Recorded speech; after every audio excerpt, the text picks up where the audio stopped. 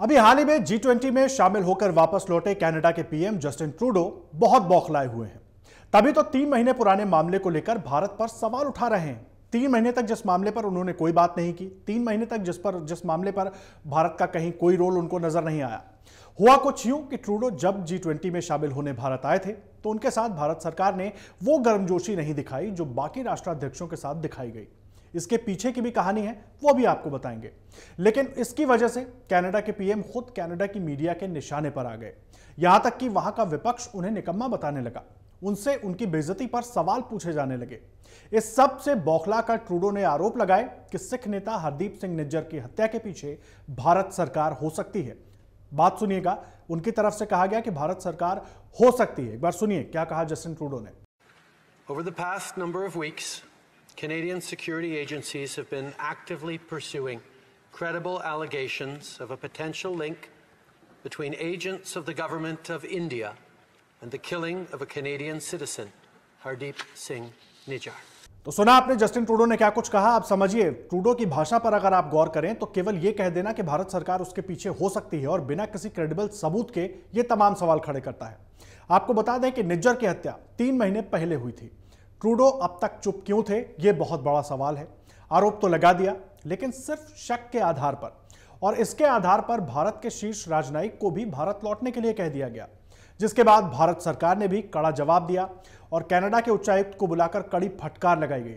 साथ ही आपको बता दें, कनाडा के उच्चायुक्त को जब बुलाया गया, केवल चार मिनट की उनकी मीटिंग हुई और वो चार मिनट में वो गाड़ी से उतरकर दफ्तर तक पहुँचे एमईए के दफ्तर में अंदर पहुँचे और इतने देर में वो वहाँ से निकल कर आ गए और जब वो निकल कर आए तो उनका चेहरा पूरी तरीके से उतरा हुआ था।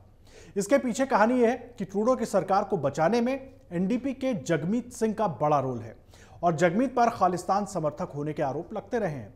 और यही वजह है कि कनाडा की धरती से जो भी भारत विरोधी गतिविधियाँ होती रही हैं भारत उस पर सवाल उठाता रहा है और ट्रूडो उसे नजरअंदाज करते रहे हैं, क्योंकि ट्रूडो पर आरोप लगते रहे हैं कि ट्रूडो कहीं ना कहीं खालिस्तान समर्थकों का सपोर्ट लेकर अपनी सरकार को बचाकर रखे हुए हैं। और ये एक बड़ी वजह है, जिस वजह से भारत की तरफ़ से जितने भी मौकों पर सवाल उठाए गए, ट्रूडो उनको नजरअंदाज करते रहे हैं। और इसलिए कई मौकों पर भारत सरकार ने कड़ी नाराज़गी भी जताई है, लेकिन ट्रूडो अपनी सरकार बचाने के लिए दोनों देशों के संबंधों की बलि देने को तैयार दिख रहे हैं। भारत ने कनाडा के उच्चायुक्त को फटकार लगाई। साथ ही सूत्रों के मुताबिक कनाडा इंटेलिजेंस के एक अधिकारी को भी पाँच दिन में भारत छोड़ने को कह दिया गया है। अब सवाल यह है कि क्या खालिस्तान समर्थक कनाडा में इतने मज़बूत हो गए हैं कि वहाँ की सरकार उनके दबाव में काम कर रही है? ऐसे में क्या होगी भारत की रणनीति? ये समझाने के लिए हमारे साथ विदेश मामलों के जानकार संजीव श्रीवास्तव जी जुड़ गए हैं। बहुत स्वागत है संजीव सर आपका। सबसे पहला सवाल कि आखिर जस्टिन ट्रूडो इतना बौखलाए हुए क्यों है? आदर्श जी सबसे पहले बहुत बहुत धन्यवाद आपको आ, आ, मुझे आप शो में इन्वाइट करने के लिए। देखिए कनाडा की जो वर्तमान समय की जो गतिविधियाँ हैं वो भारत विरोधी दिखाई देती जी। कनाडा के धरती से अनेक भारत विरोधी गतिविधियों को लगातार संचालित किया जा रहा था जिसके संदर्भ में भारत ने लगातार कनाडा से इस बात की मांग की कि ये जो तथाकथित खालिस्तान समर्थक हैं उनके विरुद्ध कनाडा स्ट्रिक्ट एक्शन लेकर के दिखाए। लेकिन कनाडा ने भारत के सारे आग्रहों के बावजूद भी सारे अपील्स के बावजूद भी कोई स्ट्रिक्ट एक्शन प्रॉपर एक्शन लिया नहीं लिया। हम्म। और जिसको कि लेकर के भारत में ज़ाहिर है कि चिंता थी नाराज़गी थी।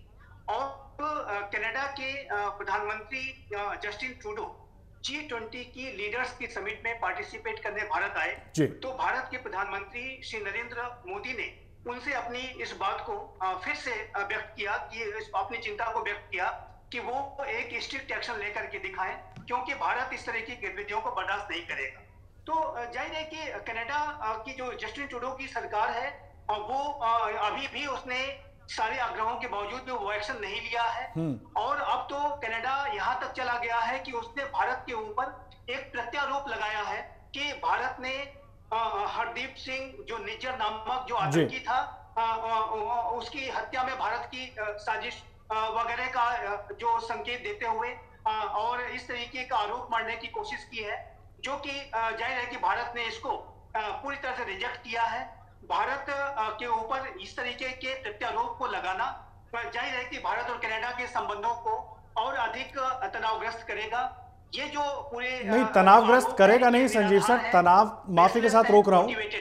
माफ़ी के साथ रोक रहा हूँ, तनावग्रस्त होगा नहीं, तनावग्रस्त तो अब हो चुका है, क्योंकि जिस तरह से भारत की तरफ़ से प्रतिक्रिया आई है, लेकिन मैं एक चीज़ जानना चाहूँगा, जिस हरदीप सिंह निज्जर को लेकर, जिसकी हत्या को लेकर जस्टिन ट्रूडो अब सवाल उठा रहे हैं, तीन महीने पहले हत्या होती है तीन महीने तक एक तो क्या कर रहे होते हैं? तीन महीने तक कहीं कोई सुबुगाहट नहीं होती। जी ट्वेंटी में भारत आते हैं, यहाँ पर जो तलखी दिखाई देती है भारत की तरफ़ से, क्योंकि ज़ाहिर सी बात है, भारत लगातार उनसे कुछ मांग करता रहा है, जिसको वो नजरअंदाज करते रहे अपनी सरकार चलाने के लिए। एक बात, और जस्टिन टूडो का अगर बयान सुने, उसमें वो पोटेंशियल शब्द का ज़िक्र कर रहे हैं। अभी मतलब कुछ क्रेडिबल आपके हाथ में भी नहीं है। तो सवाल बड़ा यह है कि राष्ट्राध्यक्ष एक राष्ट्राध्यक्ष खड़ा होकर इतना बड़ा आरोप लगा देता है, बिना किसी सबूत के, कम से कम कोई क्रेडिबिलिटी उस बात की तो दिखे कहीं? देखिए, आदर्श जी, एक बात बहुत स्पष्ट है कि कनाडा के प्रधानमंत्री जस्टिन ट्रूडो अपने नैरो पॉलिटिकल वेस्टेड इंटरेस्ट के लिए भारत और कनाडा जैसे एक बड़े संबंधों को वो दांव पे लगा रहे हैं। वर्तमान समय में जस्टिन ट्रूडो की जो सरकार है, वह अल्पमत की सरकार है।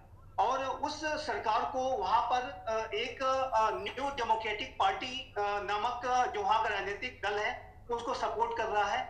और ये जो न्यू डेमोक्रेटिक पार्टी है उसका नेता जगमीत सिंह है हम्म। जो कि खालिस्तानियों के साथ उसके गहरे संपर्क है। चाहे वो हरदीप सिंह निज्जर हो चाहे वो गुरपत वन सिंह पन्नू रहा हो सभी के साथ जगमीत सिंह के और न्यू डेमोक्रेटिक पार्टी के संबंध है। और जस्टिन ट्रूडो की सरकार अपने आपके अस्तित्व को बचाने के लिए और आने वाले कनाडा के इलेक्शंस में वोट बैंक की पॉलिटिक्स को करने के लिए, उसका राजनीतिक लाभ लेने के लिए, वो वर्तमान समय में ऐसे अपीच करने की कोशिश कर रहे हैं, ये तुष्टिकरण की राजनीति कर रहे हैं भारत के ऊपर भी जैसा कि आपने बिल्कुल स्पष्ट रूप से कहा कि उन्होंने पोटेंशियल शब्द का इस्तेमाल किया है। और ऐसे में वो इस बात का सिर्फ़ एक संकेत दे रहे हैं कि भारत की इसमें भूमिका हो सकती है, वगैरह वगैरह ताकि ये कनाडा के उन तत्वों को जो कि खालिस्तान समर्थक हैं उनको वो अपीच कर सके उनको ये कह सके कि हम उनके साथ खड़े हैं।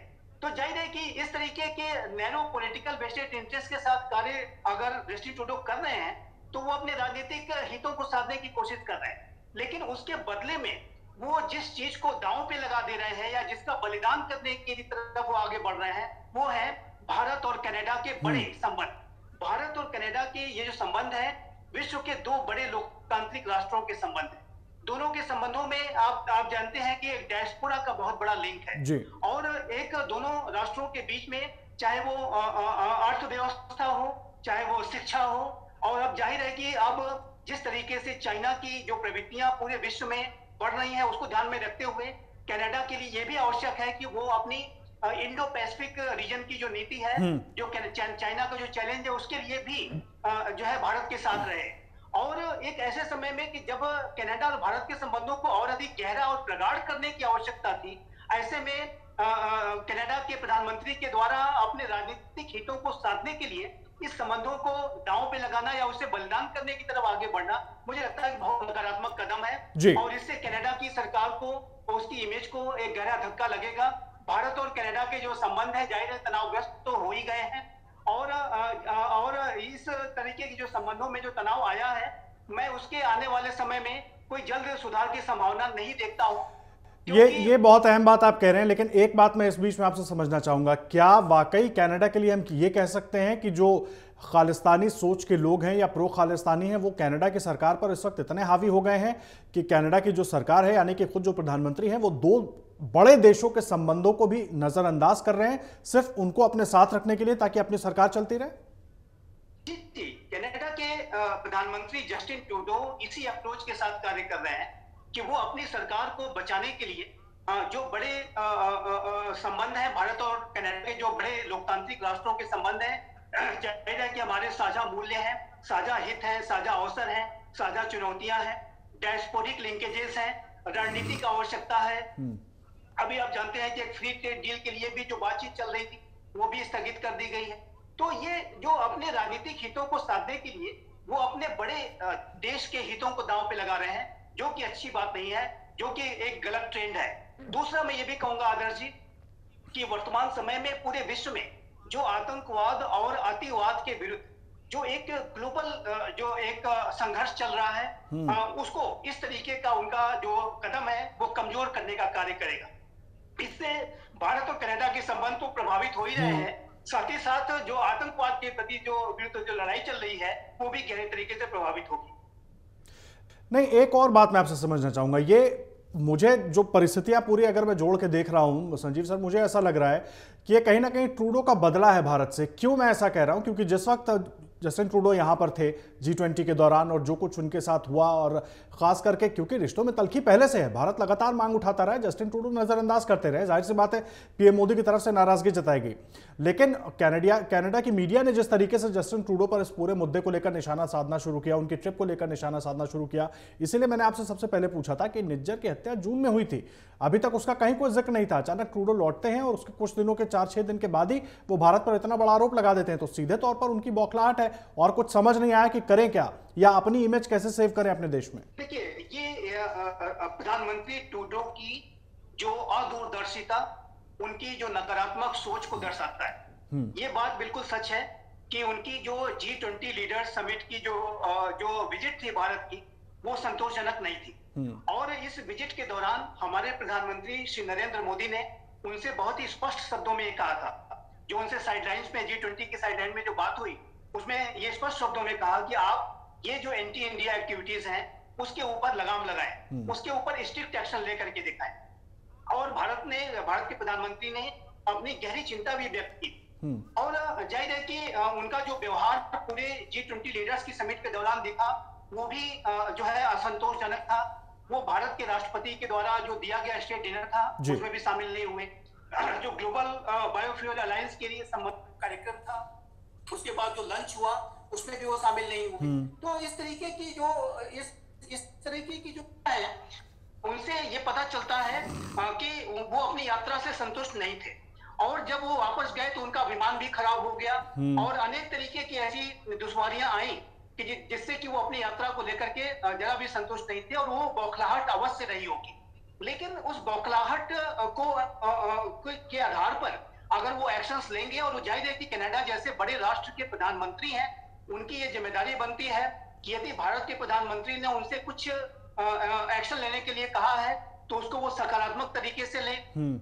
न कि जो भारत और कनाडा के बीच का जो ट्रेड नेगोशिएशन चल रहा है उसको वो स्थगित कर दें। और अब भारत के ऊपर इतना गंभीर आरोप लगा दें कि भारत ने किसी भारत कोई हत्या हुई है उसमें भारत के का हाथ हो सकता है इस तरीके की आप अगर बात करेंगे तो ज़ाहिर है कि ये आपकी अदूरदर्शिता को अपरिपक्वता को दिखाता है।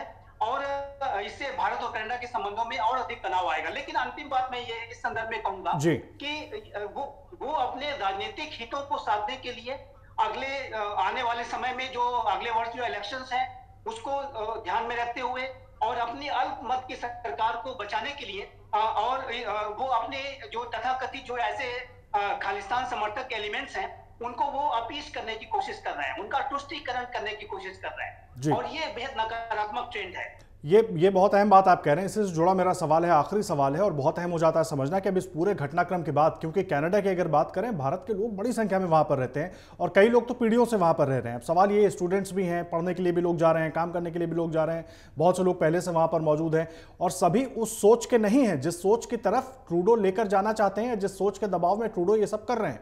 तो ऐसे में उनके लिए भी तो दिक्कतें खड़ी हो जाएँगी, सर। दिक्कत तो निसंदेह होगी।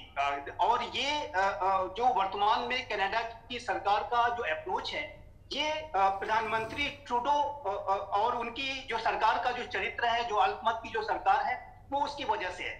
और मेरा ऐसा मानना है, और अभी भी मैं इस बात की आशा रखता हूँ, विश्वास रखता हूँ, कि जो अगले इलेक्शन होंगे, उसके बाद जो नई सरकार आएगी, और नई सरकार का जो स्वरूप होगा, चरित्र होगा, उसमें भारत और कनाडा के संबंधों में सुधार आने की संभावना है हम्म। लेकिन वर्तमान समय में जो कि सरकार अल्पमत में है वो अपने अस्तित्व को बचाए रखने के लिए वो भारत विरोधी तत्वों के साथ का साथ ले रही है तो ये जो वर्तमान की जो सरकार है उसका चरित्र निसंदेह बहुत नेगेटिव है जैसे कि मैंने कहा कि इमेच्योर है अपरिपक्व है अदूरदर्शी है हम्म। और इस तरीके की सोच रखने वाला अगर कोई नेता किसी राष्ट्र का नेतृत्व कर रहा है तो ज़ाहिर है कि वो अपने भविष्य को बेहतर नहीं बना सकेगा। और भारत जो कि विश्व का सबसे बड़ा लोकतांत्रिक राष्ट्र है विश्व की सबसे तेज गति से बढ़ती हुई अर्थव्यवस्था है। भारत एक जिम्मेदार व्यवहार के लिए भी जाना जाता है। वसुदेव कुटुंबकम की भावना के साथ भारत कार्य करने वाला राष्ट्र है। हाँ, इसके साथ ऐसे बड़े राष्ट्र के साथ अपने संबंधों को अगर आप खराब करते हैं तो ये आप अपने लिए भी समस्याएँ खड़ी करेंगे। जैसा कि आपने कहा कि भारत और कनाडा के बीच में अगर ये ट्रेड नेगोशिएशन सफलतापूर्वक संपन्न हो हुए होते हम्म। तो ज़ाहिर है कि जो व्यापार का स्तर है वो बहुत बड़ा होता। भारत और कनाडा के बीच में जो वर्तमान समय में जो व्यापार का स्तर है वो संतोषजनक नहीं कहा जा सकता। दोनों देश बहुत बड़े लोकतांत्रिक राष्ट्र हैं और दोनों के बीच में व्यापार की अपार संभावनाएँ हैं। लेकिन अब तो ये संभावनाएँ फ़िलहाल ठंडे बस्ते में जाते हुए दिख रही हैं, क्योंकि जिस तरीके से ट्रूडो सरकार की तरफ़ से कदम उठाया गया, जो बातें भारत के खिलाफ कही गई, भारत उसको कहीं स्वीकार नहीं कर रहा है और भारत की तरफ़ से कड़ा जवाब भी इस पर दे दिया गया है। आगे क्या कुछ होता है, वो भी देखना बहुत अहम होगा। फ़िलहाल के लिए संजीव सर, बहुत धन्यवाद आपका हमारे साथ जुड़ने के लिए इस पूरे मुद्दे पर। जानकारी हमारे साथ साझा करने के लिए बहुत धन्यवाद सर। अमर उजाला, अब आपके टीवी पर भी। अपने स्मार्ट टीवी पर यूट्यूब पर सर्च करें अमर उजाला। चैनल सब्सक्राइब करें और देखें ताज़ा खबरें। वो भी एचडी क्वालिटी में। और हाँ बेल आइकन दबाना ना भूलें, ताकि हर खबर हो आपके घर। अमर उजाला, निष्पक्ष निर्भी निरंतर।